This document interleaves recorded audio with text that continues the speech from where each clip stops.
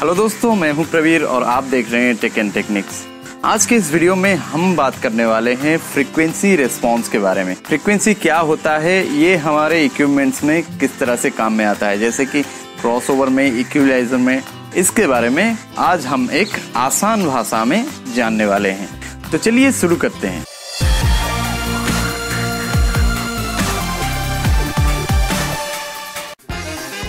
Subscribe कीजिए इस channel को और बेल आइकन को दबाइए ताकि आपको मिल सके हमारी नोटिफिकेशन सबसे पहले। और वीडियो को लाइक करना मत भूलिए। दोस्तों, आज मैं ये वीडियो इसलिए बना रहा हूँ क्योंकि हमारे जो पुराने साउंड मैंस होते हैं, उनको तो आइडिया होता है फ्रीक्वेंसीज के बारे में, लेकिन जो नए लोग होते हैं, जो इस फ़ील्ड में फ़िलहाल उतरे हुए हैं तो उनको काफ़ी मुसीबत का सामना करना पड़ता है फ्रीक्वेंसी को समझने में। तो आज ये वीडियो देखने के बाद और नेक्स्ट वीडियो में मैं इसका एक टेस्टिंग भी करने वाला हूँ। तो आपके जो फ्रीक्वेंसी को लेके डाउट है, वो मेरे ख्याल से काफ़ी हद तक क्लियर हो जाएँगे। एक्चुअल में फ्रीक्वेंसी वो होता है जो हमारा कान रिस्पॉन्स कर सकता है।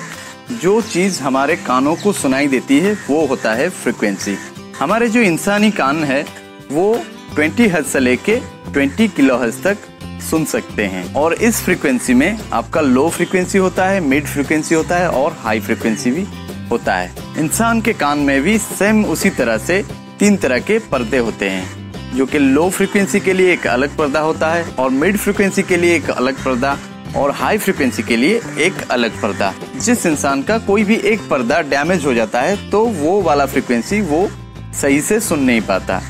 तो उसके लिए उसको हमें ऊँचा बोलना पड़ता है। अब हम बात कर लेते हैं फ्रीक्वेंसी में ये जो हज है, वो क्या है? जैसे कि हम दूरियों को मापते हैं किलोमीटर या फिर माइल्स में सेम उसी तरह से फ्रीक्वेंसी को हज में मापा जाता है। और अब किलो हज किलो हज क्या है? 1000 हज जो है, वो मिलके एक किलो हज बनता है। अब हम जान लेते हैं फ्रीक्वेंसी का रेंज क्या होता है। फ्रीक्वेंसी का रेंज आपने तो जान लिया, जो इंसान के कानों को सुनाई देता है, वो है 20 हज से लेके 20 किलो हज तक। उसमें आपका जो लो फ्रिक्वेंसी होता है, वो 20 हज से लेके 200 हज तक होता है। और आपका जो मिड फ्रिक्वेंसी होता है, वो 200 हज से लेके 5 किलो हज तक होता है। और आपका जो हाई फ्रिक्वेंसी होता है 5 किलो हज से लेके 20 किलो हज तक होता है।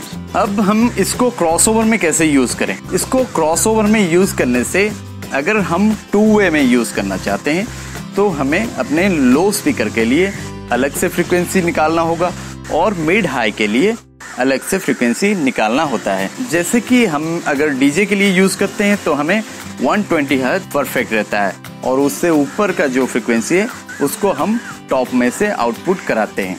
अब हमें जानना है कि हमें फ्रीक्वेंसी को क्यों डिवाइड करना है, क्योंकि हमारा जो इक्विपमेंट्स बने हैं, वो अलग अलग फ्रीक्वेंसी को रिस्पॉन्स करने के लिए। जैसे कि हमारा जो सबूफर्स होते हैं उसको हम यूज़ करते हैं लो फ्रिक्वेंसी आउटपुट कराने के लिए। तो हमें कोई भी ज़रूरत नहीं उसमें मिड डालने की।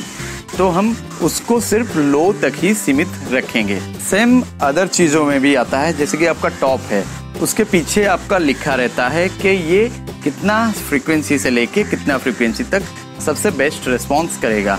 तो आपको उस हिसाब से उसको रिस्पॉन्स कराना सही रहता है। और लाइनरेज के लिए भी अगर लाइनरे आप हाई मिड लाइनर ले रहे हैं तो आप उसको हाई मिड का ही फ्रीक्वेंसी देना उसके लिए सबसे बेस्ट होगा। उसको लो फ्रीक्वेंसी देने की कोई ज़रूरत नहीं, क्योंकि वो लो फ्रीक्वेंसी आउटपुट करा ही नहीं पाएगा। तो हम क्यों उसको लो फ्रीक्वेंसी दें? इसलिए फ्रीक्वेंसी को डिवाइड करने में काम में आता है। अगर आप लाइव सेटअप के लिए क्रॉसओवर की यूज़ करते हैं तो वहाँ पे आपको फ्रीक्वेंसी का नॉब जो है थोड़ा सा खोल के रखना होता है, क्योंकि लाइव सेटअप में जो किक ड्रम्स होते हैं या फिर दूसरे जिसमें से आपका लो मिड फ्रिक्वेंसी थोड़ा सा आउटपुट होता है, अगर आप फ्रिक्वेंसी के नॉब को अगर दबा के रखेंगे, जैसे कि डीजे के लिए आप रखते हैं तो उस टाइम में आपका जो लो मिड का जो फ्रिक्वेंसी है, वो थोड़ा सा मिसिंग हो जाएगा। तो इसलिए आप लाइव सेटअप के लिए 160 तक भी यूज़ कर सकते हैं अपना सबवूफर स्पीकर्स को। अब हम जानने वाले हैं कि इक्वलाइजर में फ्रीक्वेंसी का काम क्या होता है। जैसे क्रॉसओवर में ये डिवाइडर है जैसे फ्रिक्वेंसीज को डिवाइड करता है अलग अलग वे में, चाहे वो टू वे हो गया थ्री वे हो गया, या फिर फोर वे हो गया। लेकिन इक्वलाइजर में उसका काम ये होता है, वो पर्टिकुलर एक फ्रिक्वेंसी को बूस्ट या फिर कट कर सकता है। अगर कोई भी फ्रिक्वेंसी आपको अनवांटेड लगता है लगता है थोड़ा ज़्यादा है या फिर थोड़ा कम है तो आप उसको बूस्ट या फिर कट कर सकते हैं। आप लोगों में से काफ़ी दोस्त हमें पूछते हैं कि क्या हम क्रॉसओवर की जगह इक्वलाइजर को यूज़ कर सकते हैं क्रॉसओवर की तरह। उनके लिए मेरा जवाब ये है कि ये दोनों का जो काम है, वो अलग अलग है।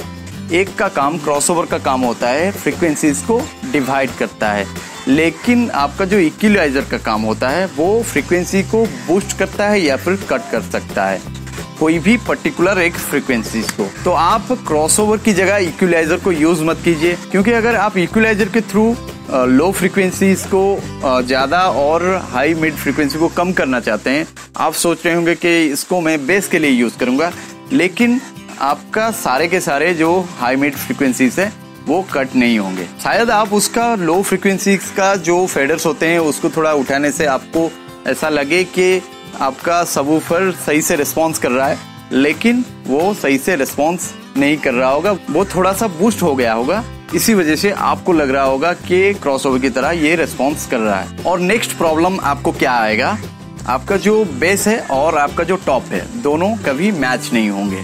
क्योंकि आप टॉप को फुल्ली रिस्पॉन्स करा रहे होंगे डायरेक्टली मिक्सर से, और बेस को इसके थ्रू रिस्पॉन्स करा रहे होंगे। तो काफ़ी सारा मिसमैच शुरू हो सकता है, जिससे आपको एक अच्छी क्वालिटी का साउंड नहीं मिलेगा। और अगर आप क्रॉसओवर के यूज़ करते हैं तो वहाँ पे डिवाइडर्स होते हैं अलग अलग आउटपुट्स मिल जाते हैं आपको, जहाँ से आपका जो लो का स्पीकर है और आपका जो मिड हाई का स्पीकर है, वो परफेक्टली मैच हो पाते हैं और एक आपको अच्छा साउंड क्वालिटी मिल पाता है। तो दोस्तों, आज के इस वीडियो में इतना ही। नेक्स्ट वीडियो में मैं इसी चीज़ को टेस्टिंग करके आपके लिए लेके आने वाला हूँ, जैसे कि क्रॉसओवर के साथ इक्विलाइजर के साथ। और हम क्रॉसओवर और इक्विलाइजर को और भी डिटेल में जानने वाले हैं नेक्स्ट वीडियो में। अगर आपको नेक्स्ट वीडियो जल्दी चाहिए तो आप इस वीडियो को लाइक कीजिए और शेयर कीजिए, ताकि मैं प्रिपेयर होके जल्द से जल्द वो वाला वीडियो ला सकूँ। तो दोस्तों, मैं आशा करता हूँ ये वाला वीडियो आपको ज़रूर अच्छा लगा होगा। अगर अच्छा लगा है तो वीडियो को लाइक कीजिए शेयर कीजिए, और इस चैनल को अगर आपने सब्सक्राइब नहीं किया है तो बिल्कुल सब्सक्राइब कर दीजिए, और नोटिफिकेशन बेल भी ऑन कर दीजिए, ताकि आपको मिल सके हमारे नोटिफिकेशन सबसे पहले। तो फ़िलहाल इस वीडियो में इतना ही, तब तक के लिए बाय